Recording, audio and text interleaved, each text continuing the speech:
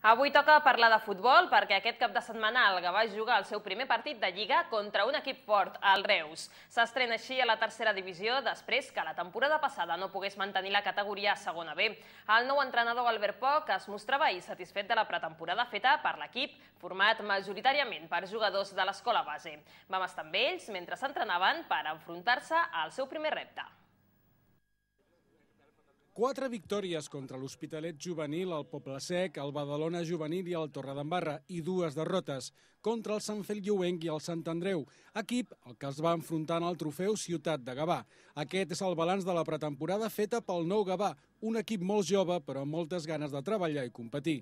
És un bon balanç, és un bon balanç perquè els partits que hem tingut, a excepció del, de l'últim que hem jugat a Torredembarra, mmm, el Badalona i el, i el Sant Andreu són equips eh, de categoria superior i jo crec que els esforços físics que es van fer amb els dos partits, al marge dels resultats, que tampoc era una cosa que em preocupés en accés, eh, van anar força bé. O sigui que les pretemporades són per això.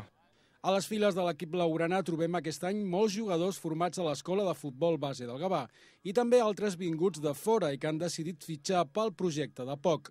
És el cas d'Hector Busquets, germà del jugador del Barça Sergi Busquets i fill del porter barcelonista Carles Busquets. Ell i la resta dels seus companys, Pere Oliver, Carlos Lerín o Albert Cervantes, porten prop d'un mes a entrenar-se per donar-ho tot aquesta temporada. L'objectiu, però, no passa tant per assolir els primers llocs de la classificació com per cohesionar i fer més forta la plantilla. Jo crec que s'ha fet un, una magnífica plantilla, mm, jo crec que hi ha jugadors contrastats que lògicament ja tenen el seu nom i, i per lo que estic veient estan molt involucrats en aquest projecte.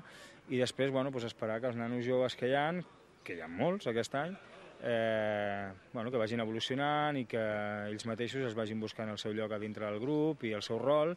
I algun dels joves segur que explota aquest any i ens en portem alguna sorpresa. Doncs les sorpreses poden començar ja aquest diumenge en el primer partit de Lliga contra el Reus. En principi, el Gavà no ho tindrà fàcil, ja que és un dels rivals més complicats de la categoria. I és que ja fa quatre temporades que els reusencs acaben la Lliga de tercera entre els tres primers. Tenim que enfrontar-nos a tots, eh, hem vist vídeos d'ells, eh, els hem vist in situ, o sigui que bueno, tenim bastantes referències d'ells. És un equip que estarà a dalt, nosaltres en un principi no és aquesta la intenció, és un... de moment estem, en fi, es té que jugar, ja veurem.